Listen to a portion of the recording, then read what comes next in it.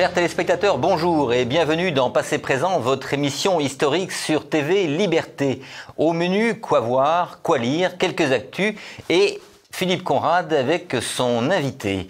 Mais avant toute chose, n'oubliez pas de cliquer sur le petit pouce levé sous la vidéo et de vous abonner à notre chaîne YouTube.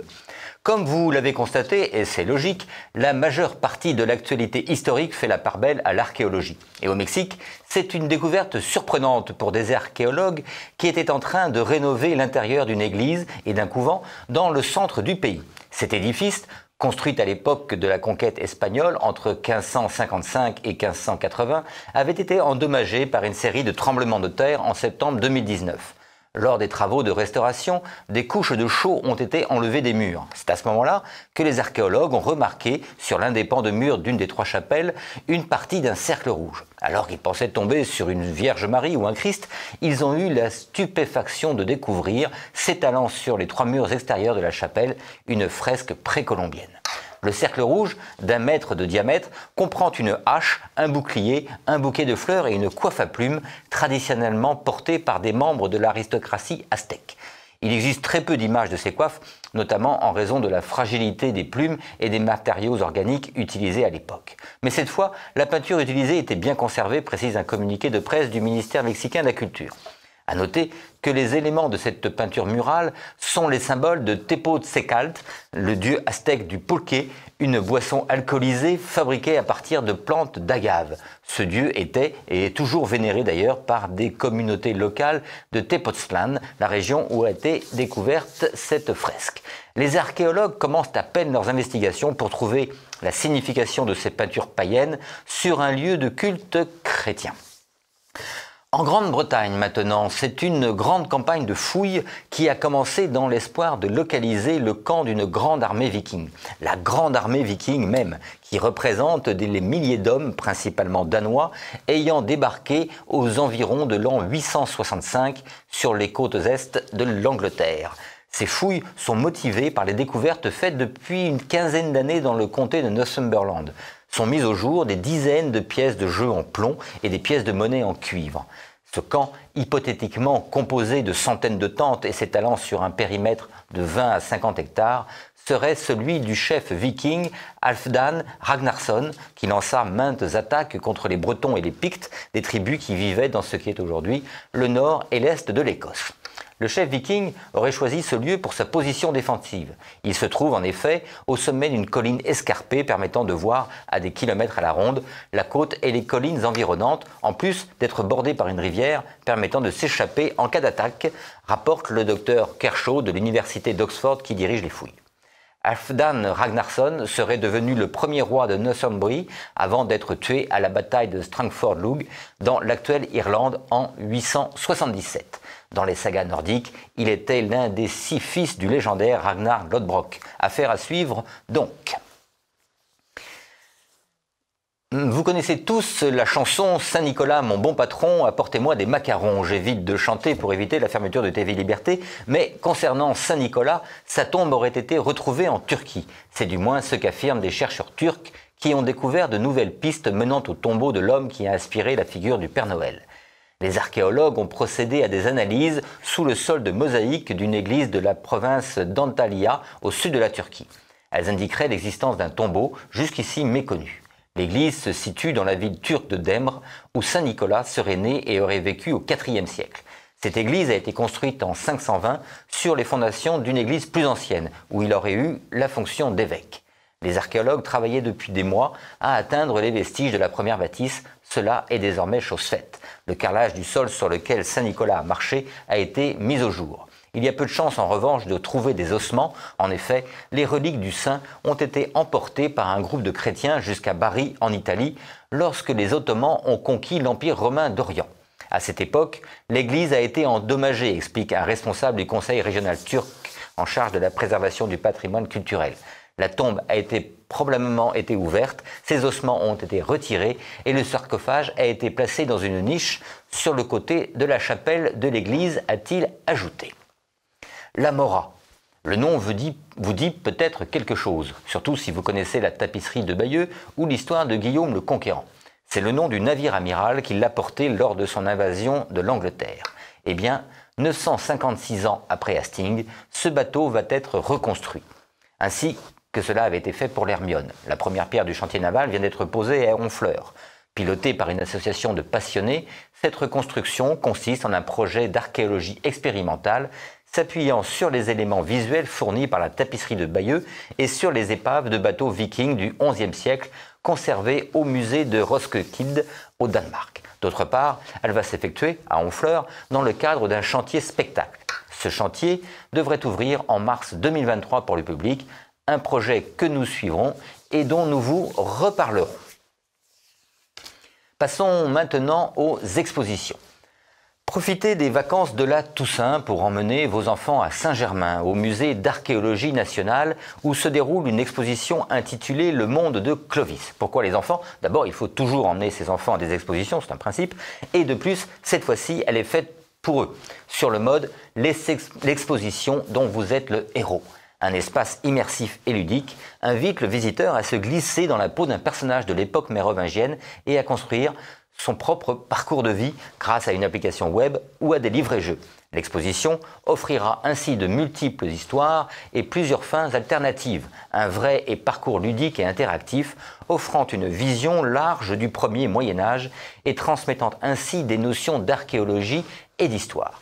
Et je vous rassure sur la pertinence historique de cette exposition, elle est placée sous la direction scientifique de Bruno Dumézil, professeur d'histoire médiévale à la Sorbonne Université, et il a d'ailleurs déjà contribué à la revue d'histoire européenne, gage de qualité et de confiance. Cette exposition se déroule jusqu'au 22 mai 2023.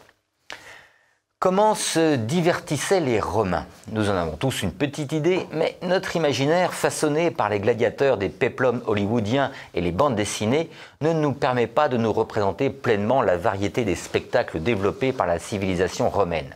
À Lyon, le musée Lugdunum, musée et théâtre romain, vous propose de rentrer dans les coulisses et la fabrique des grands spectacles romains.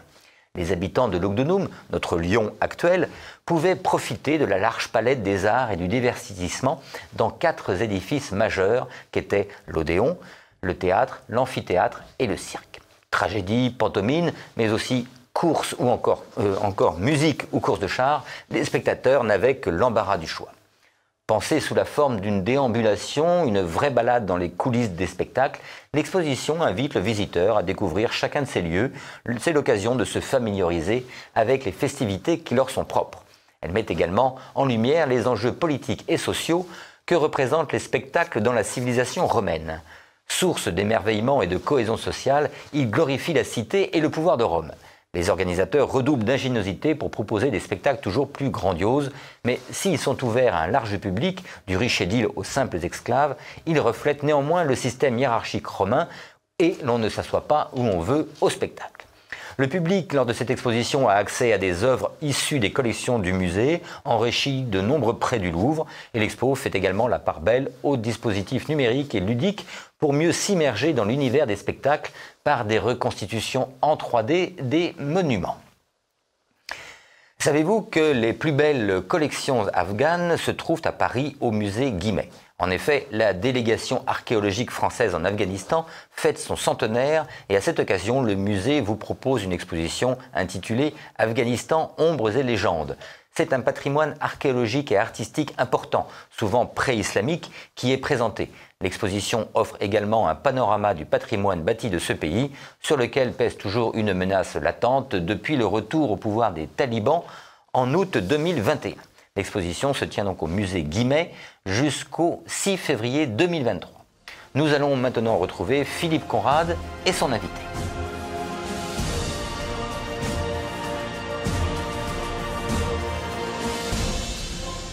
Je reçois aujourd'hui, chers téléspectateurs, M. Grégoire Fénidery, qui vient de publier un ouvrage que je considère comme majeur, intitulé Un formidable système répressif, les juridictions d'exception à la fin de la guerre d'Algérie, 1961-1963. C'est un ouvrage qui est publié aux éditions Dominique Martin-Morin.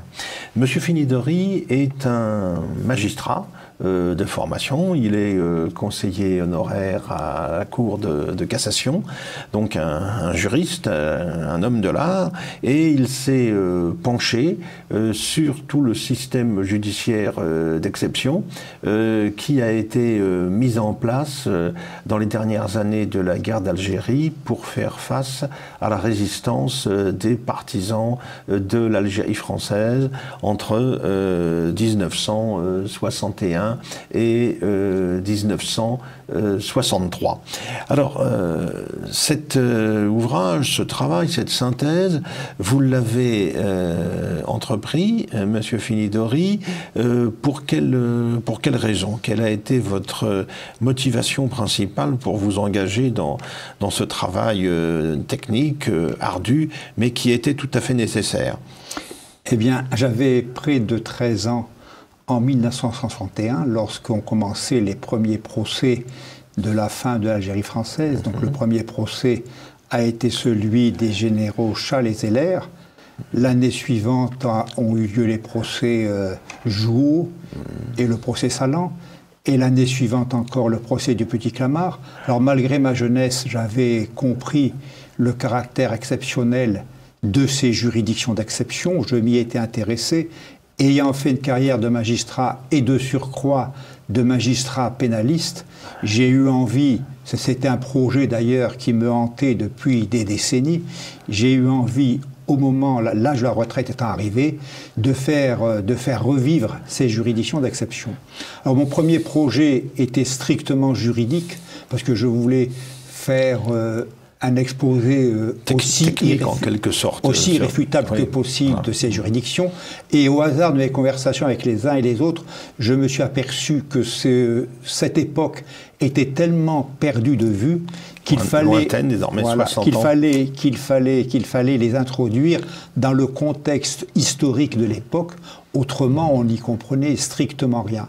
Et donc, euh, introduisant le contexte historique, je me suis aussi attaché à faire revivre certaines de ces figures, de ces, de ces personnes, notamment des, des militaires, le commandant Noah de Saint-Marc et bien d'autres, et faire revivre un peu les, les, figures de ces personnes, qui étaient souvent des, soldats de, des soldats de légende, pour montrer comment ces personnes avaient été conduites euh, à entrer en rébellion.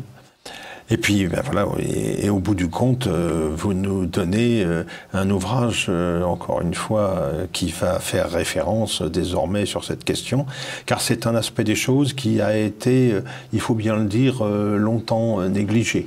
Maintenant, les, les, passions commencent heureusement à s'apaiser concernant cette période, mais toute enquête de ce type, évidemment, était a priori suspecte d'être partisane en, faveur des tenants de l'Algérie française, en faveur de l'OAS. Le temps a passé et le temps de l'histoire euh, mm. maintenant est venu et euh, vous nous donnez là euh, un ouvrage qui, de ce point de vue, encore une fois, va faire référence, je pense, pour, pour longtemps. Alors, tout commence en fait avec l'affaire des, des barricades. Alors, oui. Alors, tout commence tout commence en fait avec le retour au pouvoir du général de Gaulle en 1958. Parce que de Gaulle revient au pouvoir en 1958. Bon, je, n'insiste pas trop, mm. mais il vient, il revient au pouvoir sur un malentendu, disons, mm. puisque il, il, il, laisse croire aux artisans de son retour au pouvoir qu'il est favorable à la l'Algérie française, mm. et peu à peu, peu à peu, ses intentions véritables vont se révéler.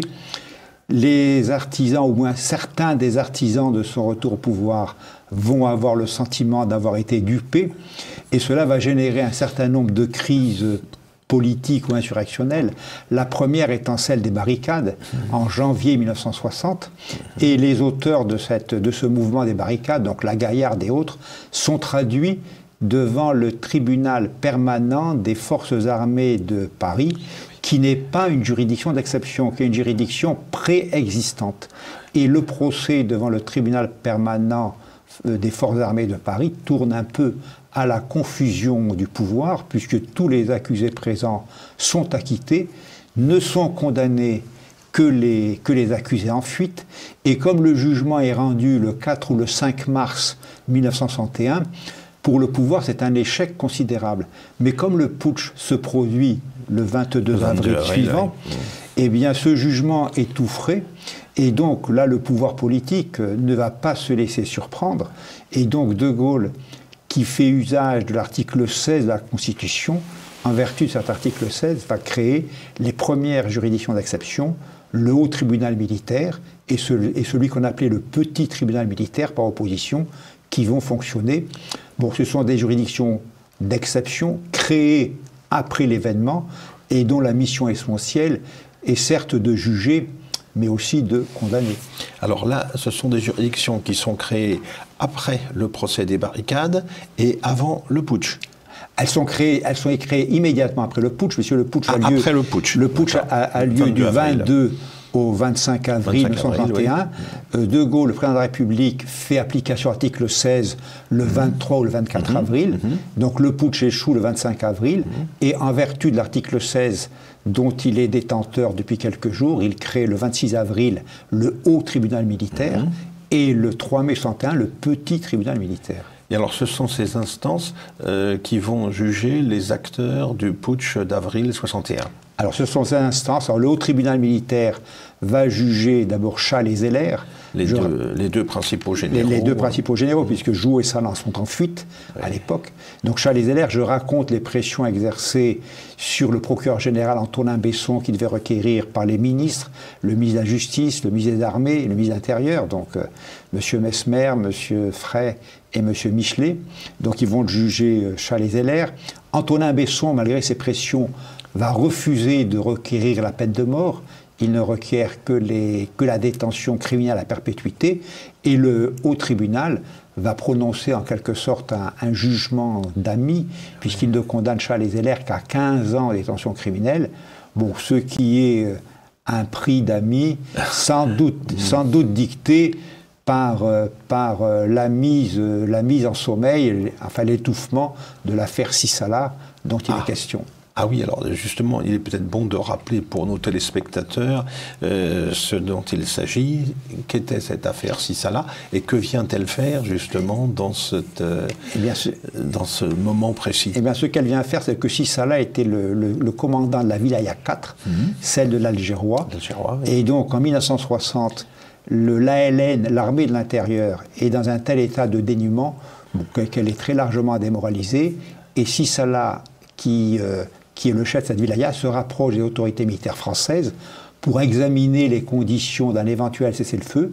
Et l'affaire va si loin, puisqu'ensuite les politiques interviennent, que Sissala et deux de ses adjoints sont reçus par le général de Gaulle en personne le 12 juin 1960. Et c'est dire que, alors on ne sait pas ce qu'ils se sont dit, mais on imagine, on imagine que Sissala a proposé de déposer les armes en se faisant fort d'entraîner dans son sillage d'autres vilayas. Alors si, plusieurs vilayas avaient déposé les armes en juin 1960, les cartes étaient entièrement rebattues et puis on pouvait, on pouvait espérer une paix autre que celle qui a eu lieu en 1962. Et donc De Gaulle ne donne pas suite à la démarche de Sissala, puisqu'il s'adresse encore une fois au GPRA, et bien évidemment l'affaire Sissala pouvait être extrêmement gênante pour le mhm. pouvoir, parce qu'on aurait pu, on aurait pu euh, imputer au pouvoir d'avoir euh, d'avoir refusé oui, paix qui lui était proposée. Et là, dans le procès, on voit euh, Charles et ses avocats ont fait citer trois témoins, et finalement, avec, avec l'accord du président du haut tribunal et du procureur général, Charles et ses avocats renoncent ah. à l'audition de ces témoins, dont l'audition aurait pu être gênante pour le pouvoir. Et c'est pour ça que le chapitre est, intitulé Un procès de connivence, mhm. avec un point d'interrogation, car on peut se demander mhm. si, euh, si euh, l'étouffement de l'affaire Sissala n'a pas été n'a pas été la contrepartie du jugement indulgent prononcé en faveur de Charles et de Zeller. Le, prix à payer pour l'indulgence du, du, tribunal. Donc ils sont condamnés à, 15, ans de détention criminelle. À 15 ans de détention. Et alors ça, ça c'est le procès du putsch, mais il y avait d'autres acteurs. Alors il y avait d'autres euh, acteurs. Dans le, putsch. Alors il y avait d'autres acteurs qui ont été jugés au cours du mois suivant, au cours du mois de juin et juillet, par le haut tribunal militaire. Le commandant Doat de Saint-Marc était jugé le premier après Zeller. C'est à lui qu'on pense évidemment. Qui commandait le premier régiment étranger parachutistes, qui était le fer de lance de l'insurrection. Et ensuite, un certain nombre de généraux et d'officiers supérieurs, le général Bigot, le général le général Nico, le général Petit, euh, le, colonel de la Chapelle, les colonels Mastou, le colonel Lecomte, Bréchignac, Secaldi, enfin une, une pléthore de, de grandes et, le, lieutenant de vaisseau Guillaume aussi. Le lieutenant de vaisseau Guillaume a été jugé par le petit tribunal ah, militaire. Il a été jugé plus tard, parce que le, haut tribunal militaire a jugé les figures principales du mhm. putsch, et ensuite, devant le petit tribunal militaire, a eu lieu le procès le, procès des officiers du premier REP, du premier mhm. régiment régiment par parachutiste, autre, que, autre que le commandant de Saint-Marc. et le petit tribunal a jugé euh, le, lieutenant de vaisseau Guillaume. Et les peines prononcées par le petit tribunal militaire n'ont pas été très sévères, hein, parce que beaucoup d'accusés ont bénéficié du sursis et beaucoup même ont bénéficié d'acquittements qui sont des acquittements quand même très bienveillants. Et alors, il y a dans ce contexte-là aussi euh, les actions engagées à propos de ce qu'on a appelé le complot de Paris. Oui. Mais alors, qu'en était-il? Parce que ce complot de Paris euh, alors, le complot est un de Paris, peu fantomatique. Il est, le complot de Paris les gens, enfin les, auteurs de ce complot de Paris ont été arrêtés le samedi 22 avril au matin, alors que le putsch avait eu lieu dans la nuit du, 21 au 22 avril. Et donc ils sont arrêtés à 9h du matin dans, dans, deux appartements d'officiers où, ils s'étaient réunis. Et donc il y a le général Faure notamment. Mhm. Et euh, on peut, et le, et le colonel Vaudrey. Le général Van Uxem aussi. Non, Van, Uxem, c'est une autre affaire. Van Uxem, ce, sera plus tard. Et donc, euh, le fait qu'ils aient été arrêtés le samedi, le samedi matin laisse à penser que la police euh, n'ignorait rien de leurs activités, puis ils ont été cueillis dès le lendemain du 22 avril. Alors le mm. complot en droit français euh, est quelque chose, euh, est, un délit pratiquement formel, parce qu'à partir du moment où deux ou trois personnes se réunissent avec un projet insurrectionnel, par exemple, nous allons partir demain à, l'assaut du palais présidentiel, mm-hmm. le complot est déjà constitué. Mm-hmm. Mais cela ne veut pas dire qu'il y avait des régiments prêts à s'engager, qu'il y avait des stocks d'armes, qu'il y avait des relais. Donc c'est un complot qui, sur le plan juridique, euh, était caractérisé, je pense, mais qui a été un peu surexploité. Oui, et puis qui ne reposait pas sur des moyens euh, Non, les, moyens, j'ai vu le dossier. J'ai vu le dossier, les, moyens sont quand même extrêmement évanescents, extrêmement ténus. Alors, on voit qu'il y avait peut-être un ou deux régiments dont les chefs de corps avaient été approchés. Mais enfin, ça ne va pas beaucoup, dans, et dans quelle plus mesure les chefs de corps auraient été suivis Oui, on, oui. On a vu les réactions d'une partie, d'une bonne partie du contingent en Algérie, euh, et, euh, au minimum euh, passive devant, devant le putsch. Et, le général Faure était quelqu'un qui avait beaucoup de mérite par ailleurs, mmh. mais dont la discrétion n'était pas la qualité première.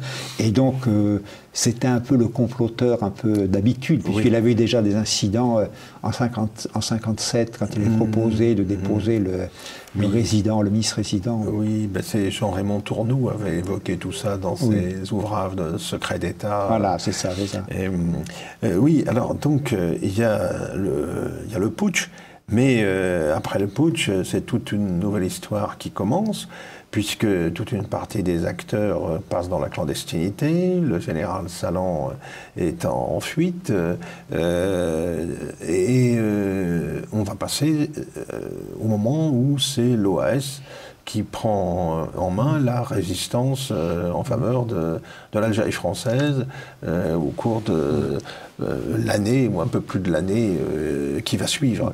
Et là aussi, la, réponse judiciaire, va être effectivement très, très forte de, la part du, de la part du pouvoir. Oui. Alors, le, haut tribunal militaire entre en sommeil à partir du mois de juillet 62, 61, lorsqu'il a fini de juger les acteurs principaux du putsch. et il ne va reprendre du service, si je puis dire, qu'en avril 1962, après l'arrestation du général Jouot, Jouot qui est le mhm. numéro 2 de l'OAS, mhm. et qui arrêté à Oran le 25 mars 1962 et condamné à mort par le haut tribunal militaire le 13 avril. 25 mhm. mars, 13 avril, on voit que les choses sont allées vite. Alors ce haut tribunal militaire statue statut sans aucun recours, mais il est composé de, grands notables, de grands notables aussi bien de la magistrature civile que, des, que, des autorités, que, des, autorités, judiciaires. Et avec, les, avec de grands notables tels que ceux du haut tribunal militaire, rien n'est jamais joué d'avance. À tel point que Salan est arrêté le 20 avril, donc mmh. Jouot a été condamné à mort le 13 avril, et Salan arrêté le 20 avril et traduit en justice, son procès euh, débute le 15 mai 62. Et donc l'adjoint joue ayant été condamné à mort, alors que l'adjoint de surcroît était pied noir, a fortiori le chef, qui n'était pas originaire d'Algérie, devait-il être de surcroît, enfin a fortiori condamné à mort, et euh, Salan, à la surprise générale, obtient les circonstances atténuantes, ce qui lui évite une condamnation à mort et une condamnation à la détention criminelle à perpétuité. Il faut savoir que quand, dans le climat euh, de passion exacerbée, mhm. une condamnation autre que la, que la mort passe pratiquement pour un acquittement. Oui, oui, oui, bien sûr. Et, ça va déclencher d'ailleurs la colère euh, du général de Gaulle. Alors ça, ça déclenche la, colère du général de Gaulle qui, dans un premier temps, envisage de fusiller Jouot puisque Salan a eu les circonstances atténuantes. Bon, beaucoup de ministres interviennent, Pompidou, Giscard d'Estaing, Sudreau, et euh, sans doute l'intervention décisive est celle de l'Église catholique euh, et même peut-être du nonce apostolique.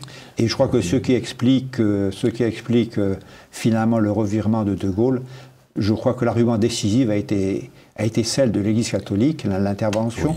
Mais il y avait aussi l'intervention du grand rabbin Kaplan mhm. et du pasteur Bugner pour les protestants. Donc il y avait quand même beaucoup de gens qui s'étaient mobilisés. toutes les familles spirituelles. En faveur, en faveur de Jouot, qui était l'adjoint et qui était originaire d'Algérie. Puis Jouot, mhm. c'était un homme extrêmement affable. Mhm. Donc euh, il, il avait dégagé un certain courant de sympathie. Mhm. Et donc, euh, donc euh, on ne va pas euh, exécuter Jou, ça, change un peu tout le paysage. Salant avec des circonstances atténuantes, l'application de la peine de mort qui n'est pas mise en œuvre pour Jou. Qu'en est-il qu'en est-il de la suite? Eh bien, la, suite, c'est que De Gaulle rentre dans une très grande colère mhm. lorsqu'il lorsqu'il apprend que Salan a été a, bénéficié des circonstances atténuantes, il tient des propos très violents, ils ont fait le procès de De Gaulle, et Salan, et, De Gaulle, pardon, euh, supprime le haut tribunal militaire qu'il avait créé un an auparavant. Mhm. Et il le supprime pour créer par ordonnance, parce que dans, toutes ces décisions, le Parlement n'intervient jamais. Pour créer par ordonnance, en vertu de la loi référendaire du 13 avril 1962, la loi référendaire approuvée par le référendum du 8 avril 1902.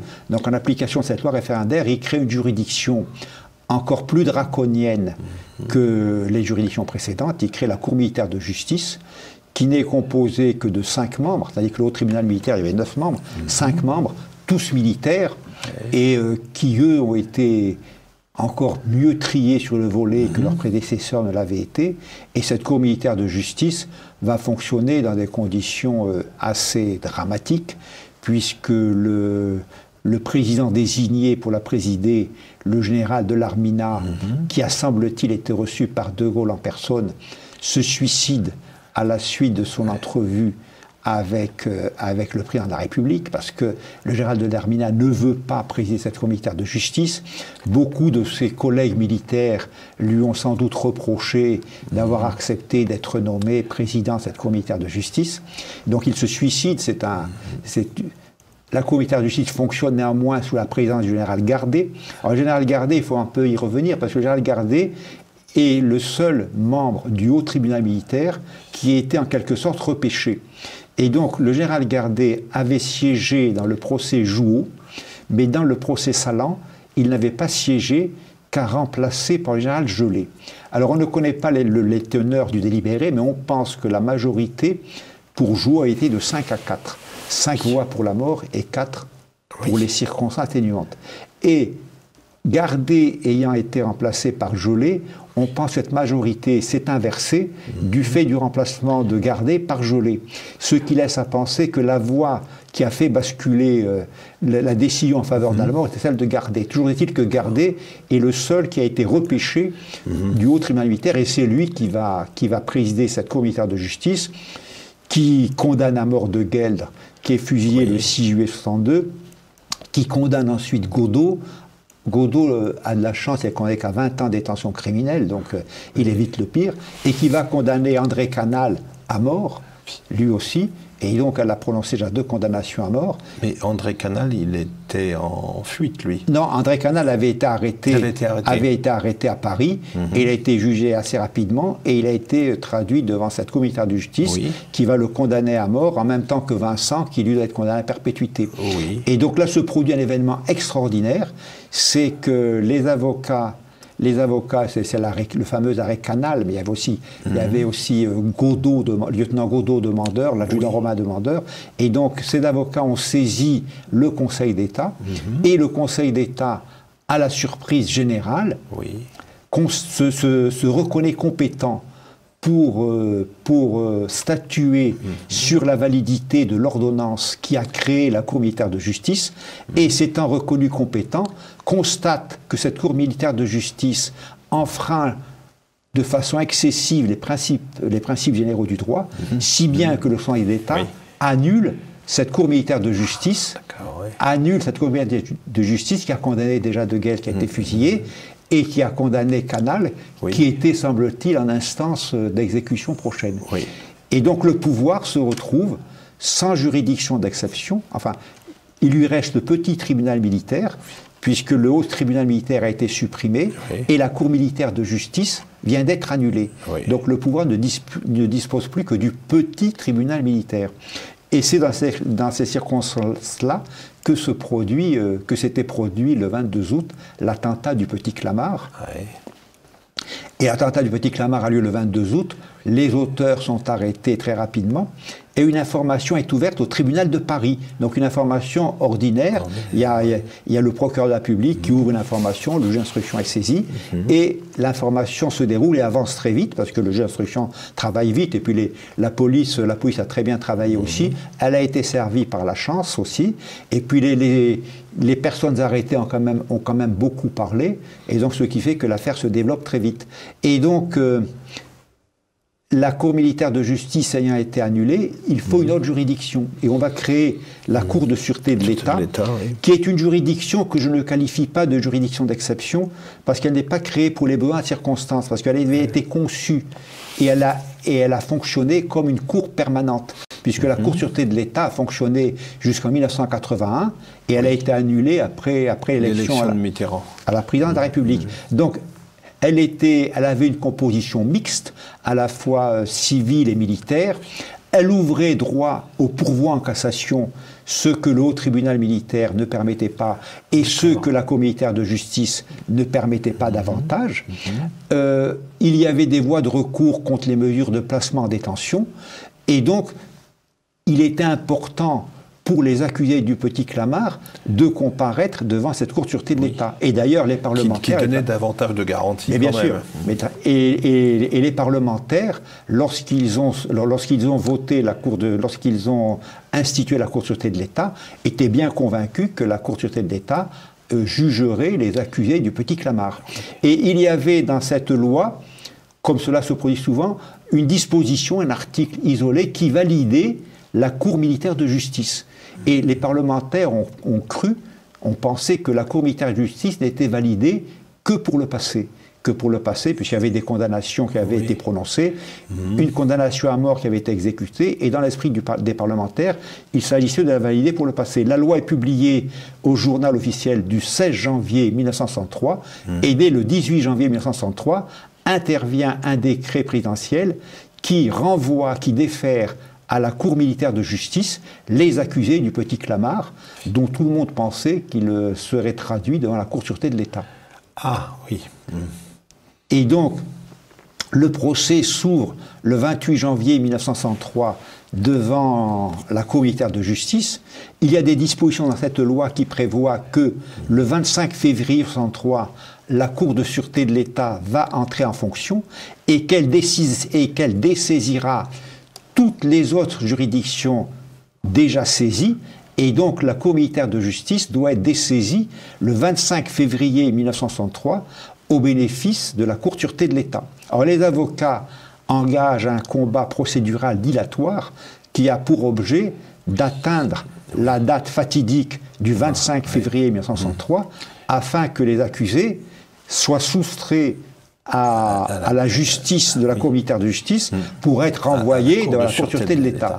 Et quand le pouvoir comprend que les avocats vont gagner leur pari, il fait voter, selon la procédure d'urgence, une loi qui contredit la loi votée le mois précédent pour dire que la Cour militaire de justice, nonobstant les dispositions intérieures, va rester saisie des affaires dont elle est déjà saisie. Mhm. Et c'est comme cela que la Comité de justice va statuer au-delà du 25 février 1963 et pourra condamner à mort euh, le 4 mars euh, non seulement Bastien Thierry, mais encore Prévost et, et, Bougré à Tocnay.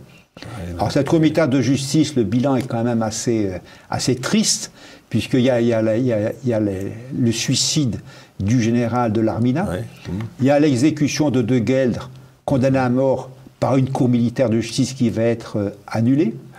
Elle est recréée sous la même forme par une disposition de la loi qu'on croyait destinée que pour le passé. Mm-hmm. Elle est recréée dans les mêmes formes, avec les mêmes violations aux principes généraux du droit. Ensuite, elle est prorogée. Bref, euh, on est dans le cadre d'un simulacre de justice. D'un simulacre, d'un simulacre de justice, euh, dans un contexte, une époque qui était évidemment euh, extrêmement dramatique et, et, compliquée. En tout cas, merci beaucoup, Grégoire Fénidori, pour tout ce que vous nous expliquez à propos de cette période difficile. Je rappelle le titre de votre ouvrage, Un formidable système répressif, les juridictions d'exception à la fin de la guerre d'Algérie. Euh, c'est un ouvrage publié aux éditions Dominique Martin Morin. Merci.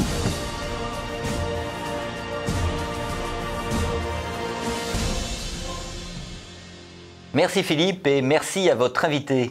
Quelques conseils de lecture maintenant avant de retrouver Christopher Lann et sa petite histoire. Un très bel ouvrage paru chez Perrin sous la direction de Jean Lopez et consacré à la guerre antique. L'Antiquité, cette période qui a duré 40 siècles et dont le mode usuel de régulation des conflits consistait à faire la guerre, nous fascine toujours. Face à cet intérêt persistant, Jean Lopez a entrepris de rassembler 61 articles auxquels il a ajouté de nombreux autres écrits ou textes explicatifs quatre grandes parties abordent successivement les guerres et les batailles, les armes et les tactiques, les chefs et enfin les corps de troupes. Le lecteur y trouvera nombre de réponses à des questions qui viennent à l'esprit. Dans tous ces domaines, les auteurs nous font profiter des dernières avancées de leurs connaissances. Leurs positions sont parfois iconoclastes, mais elles permettent d'ouvrir le débat et de se faire sa propre idée. Des encadrés explicatifs, des anecdotes, de très belles illustrations, des schémas de bataille aident grandement à la compréhension de ces articles qui, au demeurant, ont l'avantage de pouvoir être lus indépendamment les uns des autres. La guerre antique est un bel album, un beau livre comme on dit, très réussi, que l'on prend plaisir à lire. Partons sur les mers maintenant avec euh, les pirates, les corsaires et les fiblustiers. Toujours chez Perrin, spécialiste du monde méditerranéen, Alain Blondy nous propose une synthèse sur le phénomène de la piraterie au cours des siècles. Alors que les pouvoirs politiques parvenaient généralement à sécuriser les transports à terre, les mers sont demeurées longtemps un espace sans foi ni loi. Aussi devinrent-elles le royaume des pirates. Et ce n'est qu'à partir du XVe siècle avant Jésus-Christ que les puissances arrivèrent à la conclusion qu'il leur fallait créer des forces maritimes afin de neutraliser ces hors-la-loi. Pirates, corsaires et flibustiers ont des statuts différents, vous le savez. C'est à la fin du Moyen Âge que de nouvelles pratiques visant à n'attaquer que les navires des ennemis du moment, et non tous les bateaux rencontrés, furent codifiées. Cette piraterie légale prit le nom de course, d'où corsaire. Quant aux flibustiers, qui ne sévissaient que dans les Caraïbes, c'étaient des corsaires, plus ou moins commissionnés, redevenus pirates, mais prétendant agir au nom de leur gouvernement. Leur existence s'achèvera à la fin du XVIIe siècle. Dès lors, il ne subsistera plus que la course légale ou la piraterie illégale. L'abondante littérature sur ces sujets est souvent très éloignée de la vérité. Le grand mérite de ce livre, érudit tout en étant divertissant, est de faire avancer notre connaissance sur ces formes d'aventure en mer. Deux bandes dessinées pour conclure, toutes deux parues chez Glénat. Un Clovis à faire lire à vos enfants avant d'aller voir l'exposition dont je vous parlais au début de l'émission. En novembre 511, à Paris, sur la montagne Sainte-Geneviève, le roi Clovis est inhumé dans l'église en construction pour honorer la, protectrice pardon, de la ville. Sa femme, Clotilde, princesse burgonde catholique, un fidèle soldat, et Rémy, l'évêque de Reims, se remémore sa vie.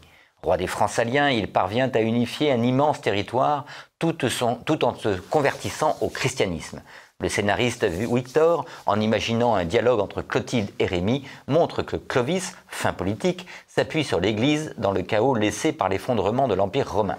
Le professeur Bruno Dumézil, encore lui, en fin d'ouvrage, révèle néanmoins la limitation des sources disponibles. Le dessin expressif et sombre de Paolo Martinello et les couleurs un peu ternes de Luca Bulgeroni mettent en évidence une période trouble. À consommer sans modération, les vignes de Charlemagne. En 814, à Aix-la-Chapelle, l'empereur Charlemagne, à la veille de sa mort, continue de donner des instructions pour améliorer la qualité du vin. Et Ginard raconte alors des histoires révélant la passion de l'empereur carolingien pour la viniculture. Pour ce nouveau tome de la série Vinifera, la grande histoire de la vigne et du vin, le scénariste Éric Corbéan rappelle que Charlemagne avait interdit de fouler le raisin au pied, obligeant ainsi chaque paroisse à se doter d'un pressoir mécanique. Par son dessin classique et précis, Brice Kopfer reconstitue abbaye médiévale et motte castrale de l'époque. Un cahier historique rédigé par Jérôme Baudouin, rédacteur en chef de la revue Vin de France, décrit la méthode d'élaboration du vin sous Charlemagne on prend conscience que l'histoire du vin est aussi celle de notre civilisation. À la nôtre donc, et il est temps de retrouver la petite histoire de Christopher Lann. Et bien sûr, de cliquer sur le pouce levé sous la vidéo et de vous abonner à notre chaîne YouTube. Bonne semaine et à une prochaine émission.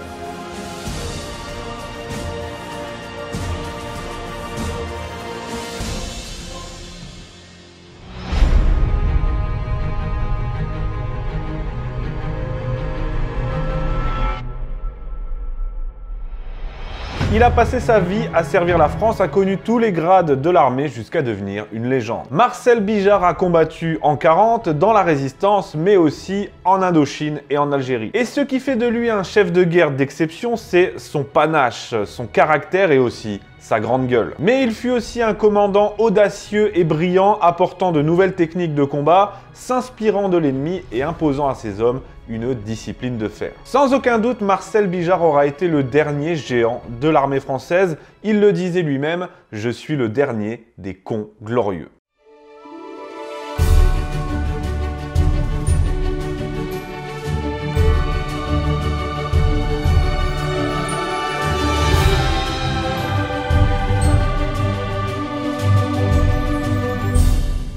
Je vais tout d'abord bien sûr vous dresser le portrait du bonhomme à travers sa carrière, une carrière digne d'un petit troupier de Napoléon qui serait devenu maréchal d'Empire, puisque Bijard a débuté tout en bas de l'échelle, il a connu tous les grades de l'armée française jusqu'à devenir le général emblématique que l'on connaît. À l'origine, derrière toute cette épopée, il y a un petit gars de Lorraine, fils de cheminot qui bossait à la Société Générale et qui se destinait déjà à en devenir le patron, comme partout où il met les pieds. En 1936, après son service militaire, le voilà soldat de deuxième classe, donc là on est vraiment tout en bas, et c'est à partir de là qu'il va commencer à gravir les échelons caporal-chef puis sergent de réserve à la veille de la guerre. Bijard ne se prédestinait pas à une vie de soldat. C'est la guerre qui en décidera autrement. Lorsqu'elle éclate, il est rappelé dans son régiment, puis il se porte volontaire pour les corps francs en Alsace. Fidèle à lui-même, il fera plus tard ce diagnostic de la débâcle, je cite, L'armée avait des faiblesses, l'état-major manquait de discernement, et notre état d'impréparation nous a cruellement affaiblis.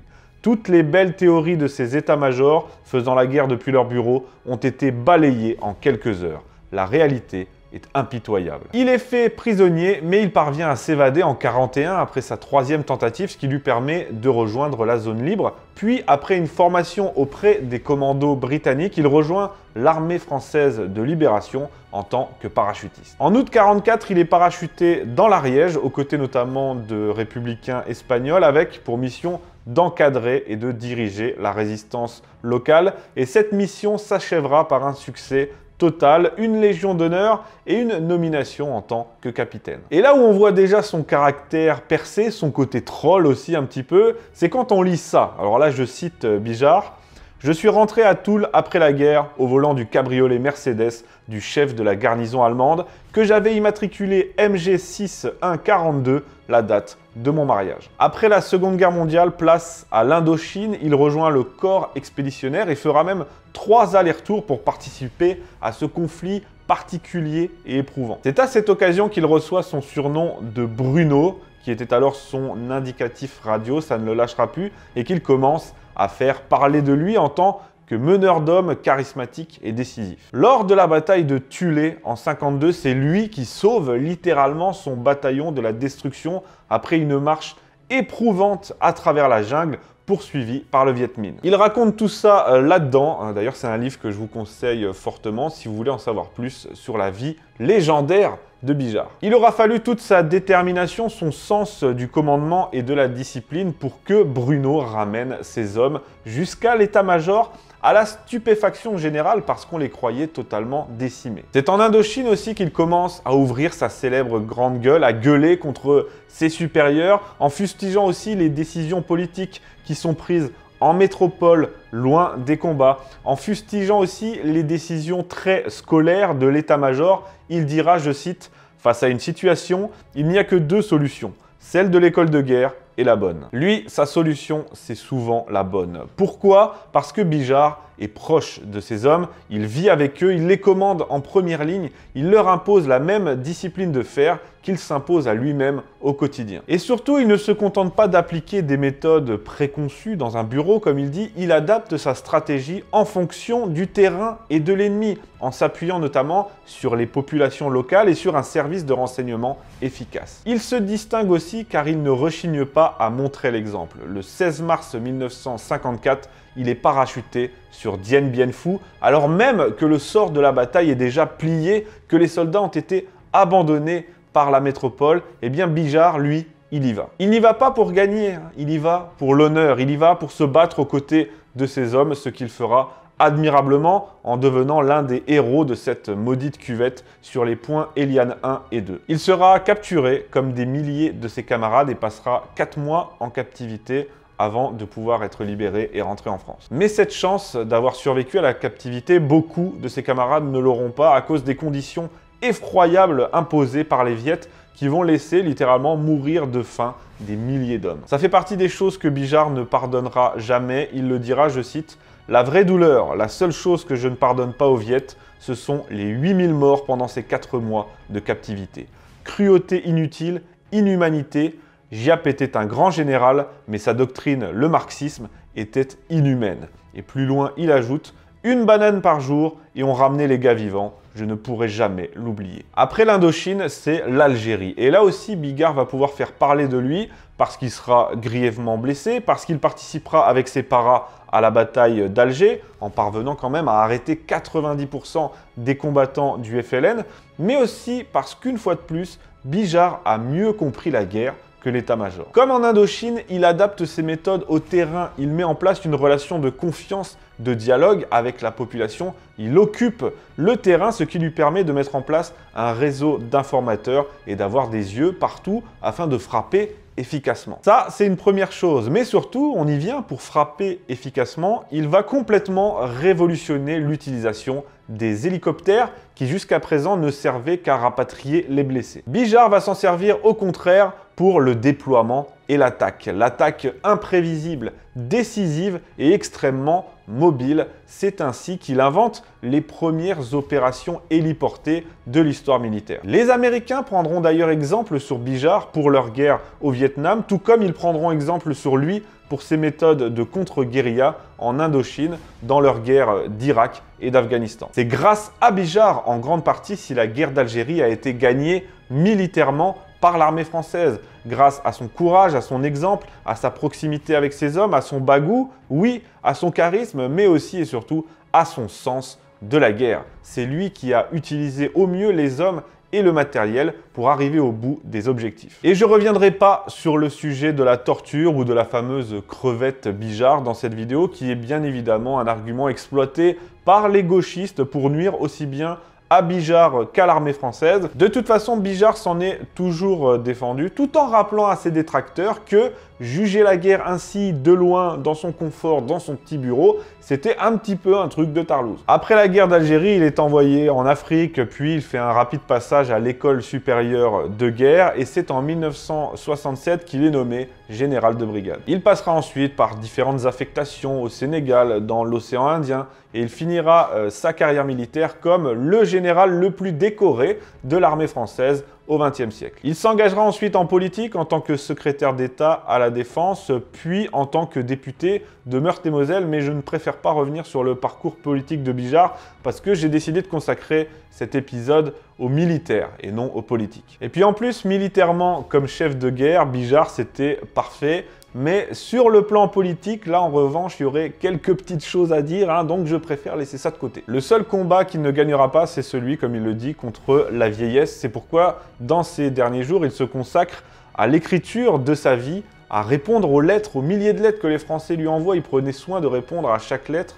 évidemment, dans sa maison de Toul, mais il se consacre à l'écriture de sa vie, de sa légende, de sa propagande aussi, un domaine dans lequel il excellait. Et ces images euh, de, fin de vie sont terribles parce qu'il est terrible de, voir, de le voir, lui, Bijard, qui commandait ses hommes dans la jungle, dans le désert, Bijard qui courait et qui nageait tous les jours, c'est terrible de le voir cloué ainsi euh, dans un fauteuil roulant, en train de pester contre sa propre condition. Il meurt à l'âge de 94 ans dans sa maison de Toul en 2010, laissant derrière lui une vie entièrement consacrée au service de la France. Ce qu'on retiendra de Bijard, c'est l'immense chef de guerre proche de ces hommes qui les mène à la victoire par l'exemple et par la volonté. On retiendra aussi le stratège, celui qui refuse les méthodes toutes faites de l'état-major, de l'école de guerre. Il n'hésitera pas d'ailleurs à de nombreuses reprises tout au long de sa carrière à gueuler ouvertement contre ses supérieurs pour appliquer euh, ses méthodes à lui, c'est-à-dire celles du terrain, celles qui fonctionnent. On retiendra aussi un homme qui aimait se mettre en scène, qui aimait mettre en scène les autres aussi, qui imposait la fameuse casquette Bijard à ses hommes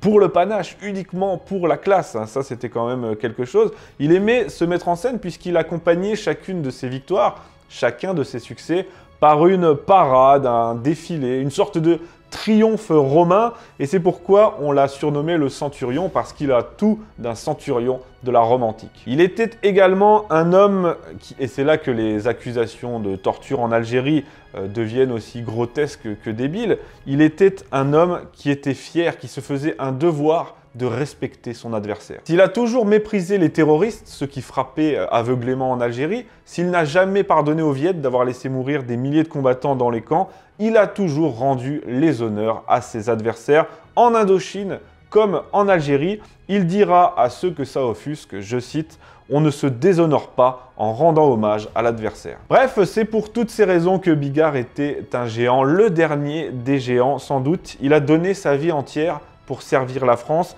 Il a connu l'armée mieux que personne, a commandé avec panache en toutes circonstances et a toujours été fidèle à sa devise, croire et oser.